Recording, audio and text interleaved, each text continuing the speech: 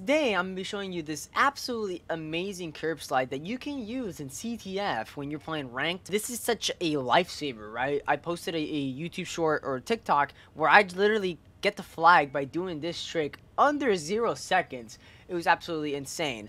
Um, and the curb slide spot is right here in the middle of the ledge where you can stand on it and then just hit an immediate curb slide and pick up the flag and just jump. I'm gonna show you guys the differences between when you just do a normal um, slide and then pick up the flag and a uh, curb slide.